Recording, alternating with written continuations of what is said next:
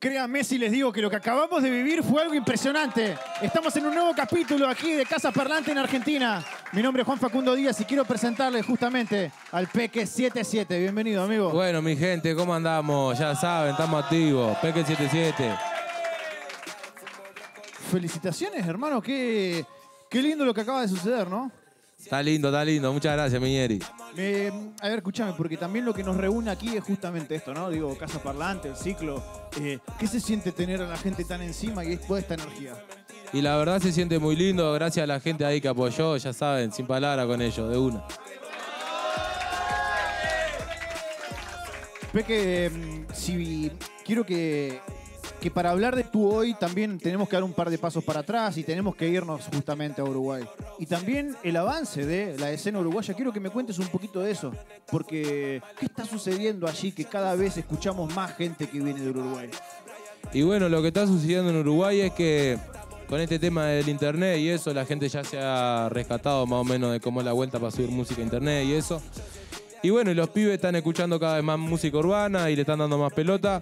Entonces lo que está pasando es que cada vez hay más artistas y gracias a Dios, ¿no?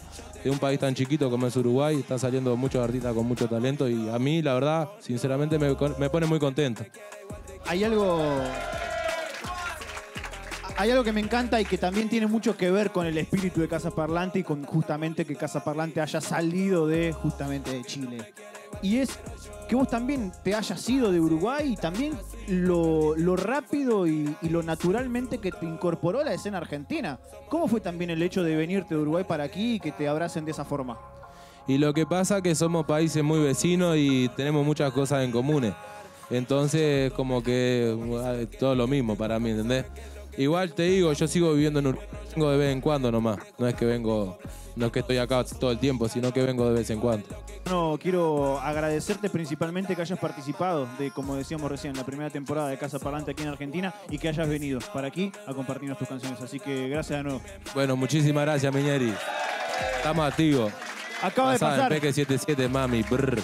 Acaba de pasar el Peque 77. Mi nombre es Juan Facundo Díaz. Quiero mandarle un saludo al MC Rama. Y también recuerden que todas estas charlas que tenemos con los artistas que pasan por aquí, por la primera temporada de Casa Parlante en Argentina, en coproducción con Mojo, lo pueden encontrar en Spotify a modo de podcast. También no olviden seguir todas las redes sociales de Casa Parlante y nos volvemos a encontrar. Esto es Casa Parlante, como decíamos recién, la primera aventura por fuera de Chile, aquí en Argentina.